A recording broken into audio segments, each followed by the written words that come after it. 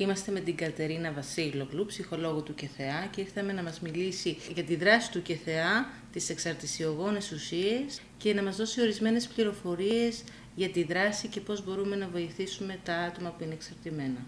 Κυρία Βασίλογλου, καλημέρα σας. Καλημέρα σας. Θα ήθελα να μας πείτε τι είναι το ΚΕΘΕΑ. Ευχαριστώ πάρα πολύ για την πρόσκληση και την ευκαιρία που μας δίνετε να μιλήσουμε στους κατοίκους του νησιού για αυτό το θέμα. Το ΚΕΘΕΑ είναι το Κέντρο Θεραπείας Εξαρτημένων Ατόμων, το οποίο προσφέρει υπηρεσίες απεξάρτησης σε όλη τη χώρα.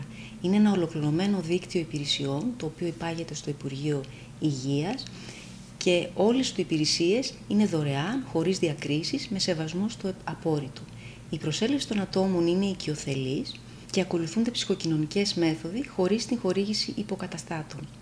Αν κάποιος θέλει να πάρει λεπτομέρειες για το τι είναι το ΚΕΘΕΑ, μπορεί να μπει στην ιστοσελίδα του το www.kethea.gr. Το ΚΕΘΕΑ της Μητυλίνης από πότε λειτουργεί; Στην πόλη μας στη Μυτιλίνη λειτουργεί από το 2008. Ανήκει στο ΚΕΘΕΑ Νόστος και προσφέρει υπηρεσίες απεξάρτησης σε όποιον πολίτη του νησιού επιθυμεί να λάβει περισσότερες πληροφορίες. Αν όποιος πολίτης, ε, όποιος εκπαιδευτικός, επαγγελματίας, γονιός ή ακόμη και ο ίδιος θεωρεί ότι έχει ζητήματα εξάρτησης, μπορεί να απευθυνθεί σε εμάς. Τι είναι η εξάρτηση; Εξάρτηση είναι η έντονη προσήλωση ενός ατόμου σε ένα αντικείμενο ή σε ένα άτομο. Ο εξαρτημένος επικεντρώνει τη ζωή του γύρω από το αντικείμενο της εξάρτησής του, ενώ όλοι οι άλλοι παράμετροι της ζωής του μπαίνουν σε δεύτερη μοίρα. Εξάρτηση έχουμε όταν κάποιος δεν μπορεί να σταματήσει τη χρήση κάποιας ουσίας ή μιας συμπεριφοράς παρότι το επιθυμεί.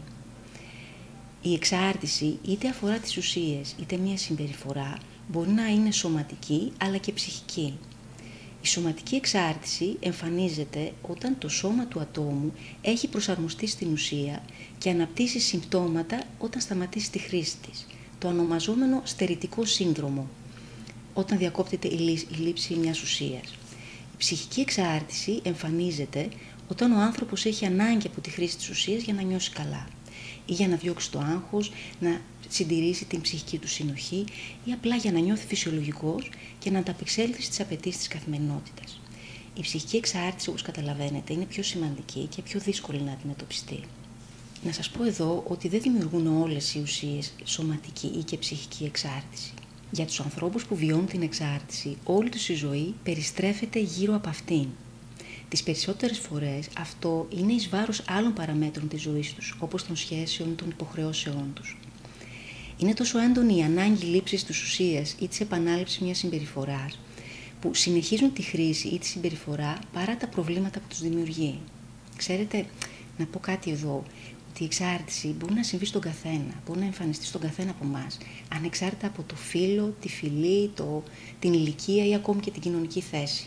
Ποιες είναι οι εξαρτησιογόνες ουσίες; Και τι είναι; Εξαρτησιογόνες ουσίες ή αλλιώς τα ονομαζόμενα ναρκωτικά είναι οποιαδήποτε ουσία επιδρά στο κεντρικό νευρικό σύστημα και αλλάζει την αντίληψη, το συνέστημα, τη συμπεριφορά του ατόμου που τη λαμβάνει ουσιαστικά αλλάζει όλη η λειτουργία του σώματος. Οι εξαρτησιογόνες ουσίες μεταβάλλουν τη λειτουργία του εγκεφάλου με τέτοιο τρόπο που η διακοπή τους είναι πολύ δύσκολη, ακόμη και αν κάποιος το θελήσει. Ποιες είναι οι ουσίες εκείνες που θεωρούνται ναρκωτικά; Ο όρος ναρκωτικά περιλαμβάνει διάφορες ουσίες όπως είναι οι παράνομες, η κάναβη, η κοκαίνη, η ηρωίνη, το χάπι έκσταση, οι εμφεταμίνες και άλλες ουσίες που υπάρχουν πάρα πολύ μεγάλη γκάμα ουσιών με διαφορετική δράση στο σώμα. Κάποιες είναι διαγερτικές, κάποιες είναι κατασταλτικές, κάποιες δημιουργούν παραισθήσεις. Υπάρχουν όμως και ουσίες που δεν είναι ε, όλες παράνομες. Εξαρτησιογόνες ουσίες είναι και το αλκοόλ, είναι και ο καπνός για τους ενήλικες. Η κατάχρησή τους όμως μπορεί να δημιουργήσει σοβαρή εξάρτηση και πολλαπλά προβλήματα υγείας. Επίσης τα ερημιστικά χάπια όταν δεν δίνονται με ιατρική φροντίδα και επιμέλεια ή και η κατάχρησή τους, μπορεί να δημιουργήσει πάρα πολύ έντονη εξάρτηση και είναι ιδιαίτερα επικίνδυνα. Όλες οι ουσίες μπορούν να γίνουν επικίνδυνες. Όταν αρχίσουμε και εξαρτώμαστε από αυτές. Όταν γίνεται κατάχρηση ή και χρήση σε κάποιες, ε, και πολλές φορές όταν γίνεται χωρίς φροντίδα, χωρίς ιατρική φροντίδα. Ποιες συμπεριφορές μπορεί να οδηγήσουν σε εξάρτηση; Εξαρτητικές συμπεριφορές έχουμε όταν κάποιος κάνει έντονη χρήση ή έχει προβληματική ενασχόληση με τα τυχερά παιχνίδια, το τζόγο. Ή ε, ασχολείται πάρα πολύ έντονα με το διαδίκτυο. Αυτό, ξέρετε, έχει ένα μεγάλο εύρος. Ε, η εξάρτηση με το διαδίκτυο μπορεί να περιλαμβάνει το downloading, ε, την, ε, την αναζήτηση νέων πληροφοριών, ε, το κόλλημα με τα ε, κοινωνικά δίκτυα ή ακόμη και τα ηλεκτρονικά παιχνίδια, το λεγόμενο gaming. Μπορεί να εμφανιστεί και σε μικρές ηλικίες, γιατί βλέπουμε ότι και μικρά παιδιά μπαίνουν στο διαδίκτυο, μπορεί να είναι για ώρες απασχολημένα. Αυτό θα μπορούσαμε να το πούμε εξάρτηση και πότε ο γονέας πρέπει να ενεργοποιηθεί; Ε, σε κάθε περίπτωση το διαδίκτυο είναι ένα εργαλείο πολύ χρήσιμο και πολύ ε, σημαντικό στη ζωή μας. Τα παιδιά είναι εξοικειωμένα πάρα πολύ έντονα με αυτό. Ωστόσο, χρειάζεται να μπαίνουν κάποια όρια και ένας γονιός να έχει το νου του να μην αφήνει απεριόριστα το παιδί του να έχει επαφή με αυτά τα μέσα. Το αν τώρα η χρήση του είναι ανισχυτική ή όχι εξαρτάται από πάρα, πάρα πολλούς παράγοντες. Ένα παιδί χρειάζεται να έχει προτεραιότητα στη ζωή του το σχολείο, έπειτα να έχει ενδιαφέροντα, δραστηριότητες, φίλους, να υπάρχουν άλλα κομμάτια στην καθημερινότητά του που να καλύπτονται οι ανάγκες του και ένα μικρό μέρος να αφορά τα παιχνίδια ή την αναζήτηση πληροφοριών από το διαδίκτυο.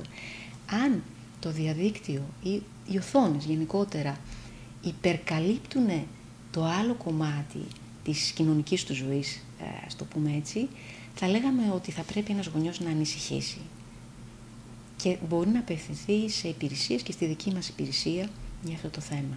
Στο πώς να θέσει τα όρια και να περιορίσει την ανασχόληση με τις οθόνες. Πού μπορεί να απευθυνθεί κάποιος ε, σε περίπτωση που αντιληφθεί ότι κάποιο άτομο της οικογένειάς του ή του φιλικού περιβάλλοντος του αντιμετωπίζει ε, πρόβλημα εξάρτησης; Μπορεί να απευθυνθεί στην υπηρεσία μας. Ε, είμαστε στην Ερμού 311 και να μας πάρει τηλέφωνο στο 22510 25670 ή και 22510 54862.